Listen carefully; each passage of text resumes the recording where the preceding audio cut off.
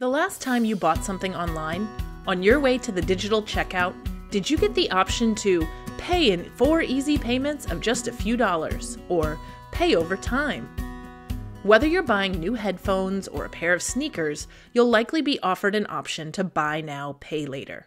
What are these buy now, pay later offers? Who wins when you decide to break up the cost of a purchase over time? And how did these services get so popular seemingly overnight?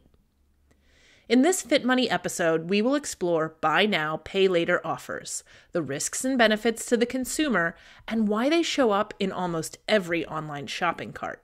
At a basic level, buy now, pay later companies like Afterpay, Klarna, and Affirm offer you an installment loan, where the total cost of the purchase you make is broken into smaller amounts that you pay back over time. If you choose to pay with the buy now, pay later company, you give the company your payment information, usually a debit or credit card, and they charge you for the first installment, one payment.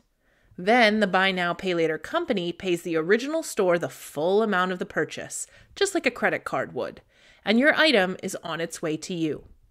The buy now, pay later company breaks up the remaining amount that you owe into smaller amounts called installments or payments and tells you when they are due. Almost all buy now, pay later companies then automatically charge your payment method on those due dates until the total amount is paid.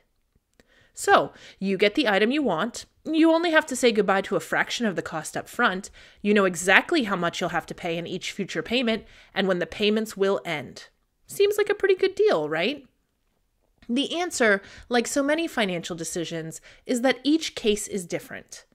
With a deeper look into how they work, we can see that buy now, pay later companies, while different from other loans like credit cards, payday loans, or layaway plans, come with their own benefits and risks. On the plus side, these buy now, pay later loans are some of the cheapest loans you can get. Like credit cards, most companies don't charge customers any interest or fees as long as all payments are made in full and on time. For those services that do charge interest, it is often at a lower rate than a credit card or traditional loan would charge. If you have no credit history, a low credit score, or are hesitant to use a credit card, and you can afford to make all of the scheduled payments on time or early, these services are consistently the cheapest money you can borrow. There are generally few limitations in how expensive your purchase can be, since they're breaking it into multiple installment payments. Buy now, pay later services also have an advantage over layaway services, which hold the item for you until you pay in full. With buy now, pay later, you get the item right away, not after you finish making all the payments. The key point to all these advantages boils down to whether or not you can make all of the installment payments in full and on time to the buy now, pay later company. Late payments, a change in your ability to pay them back, or even just forgetting how many payments you owe can make these plans risky quick. Buy now, pay later services play on basic human psychology. You get the immediate reward of purchasing the item as fast as it can be shipped to you, while delaying the sting of the total cost. That instant gratification and the wide availability of these offers can make it all too easy to lose track of how many installment plans you have going at any one time, and how they fit into your overall budget. With these buy now, pay later plans available for most online purchases, bills can pile up fast, filling your calendar with due dates, while the installment payments drain your bank account or blow up your credit card bill. Online retailers have signed partnerships with these services in huge numbers for a very simple reason consumers buy more. All too often, from a company's perspective, a customer fills their online cart with items but never buys them because the total cost seems too high. Buy now, pay later companies have sold themselves as a solution to this cart abandonment.